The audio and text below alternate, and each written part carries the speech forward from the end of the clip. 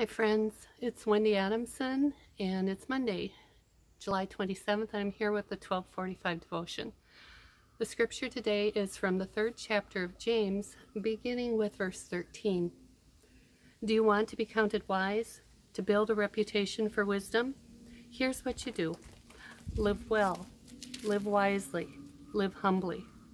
It's the way you live, not the way you talk that counts. Mean-spirited ambition isn't wisdom. Boasting that you are wise isn't wisdom. Twisting the truth to make yourselves sound wise isn't wisdom. It's the furthest thing from wisdom. It's animal cunning, devilish conniving. Whenever you're trying to look better than others or get the better of others, things fall apart and everyone ends up at the other's throats. Real wisdom, God's wisdom, begins with a holy life and is characterized by getting along with others. It is gentle and reasonable, overflowing with mercy and blessings, not hot one day and cold the next, not two-faced.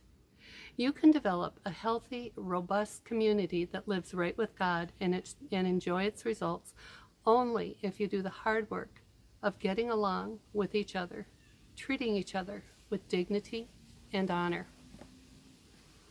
So James wrote that for the 12 tribes around 2,000 years ago. And boy, doesn't it sound familiar.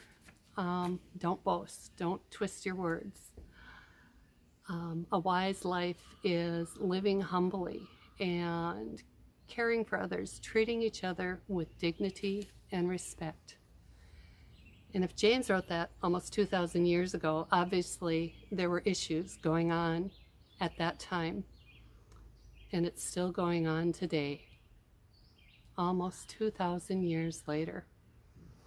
I don't know about you, but when I first read that, it was a little depressing.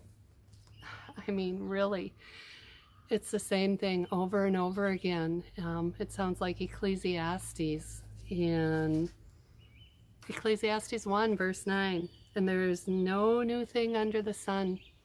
So part of me thinks, what's the use? It just keeps happening over and over again. Last week in Erica's devo Pastor Erica's devotion, she referenced hitting a wall. Well, I think I hit that same wall too. Social media, um, there was so much out there last week, and I'm not going to go into it. I'm not going there. I have to take a step back. But the anger and the the unwillingness to listen to others and be respectful of others' opinions. It just, it overwhelms me. So with today's scripture, where's our hope? Um, where's, where's the word that brings us some light? And as I was pondering this and actually getting a little more depressed, suddenly in my mind came the refrain from a song I've got on a CD somewhere. I don't even know who the artist is, but I kept hearing, Behold, I make all things new. So I pulled out my phone, opened up Bible Gateway, and did a search. And that scripture has a reference to Jeremiah and also to the 21st chapter of Revelation, verse 5. And it says, And he who was seated on the throne said, Behold, I am making all things new. Also, he said, Write this down, for these words are trustworthy and true. Trustworthy and true. I guess I need to trust. Also, um, there's an ancient Jewish saying from the Talmud, every blade of grass has its own angel bending over it, whispering, grow, grow. Don't know if you're a gardener like I am, but I find that incredibly beautiful. Grow, grow, angel.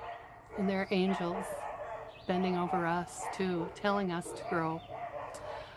So I guess what I take from this is I need to listen to those words and take them to heart. For many of you who know me, um, know me well, you've probably heard me say whether it at it be at Pray and Ponder or in confirmation or other small groups, I'm constantly saying that I believe God is about the work of bringing good in all situations, no matter how bad, no matter how desolate, no matter how broken we are, God is working to bring about good. I guess I need to take those words to heart. I need to listen to my words and I need to believe them. So I am going to I'm going to work on that today. I'm going to work on that this week and try not to get so overwhelmed when the crap that's floating around comes comes and hits me in the face. I need to remember that God is at work. He is here among us, making all things new. Please join me in prayer.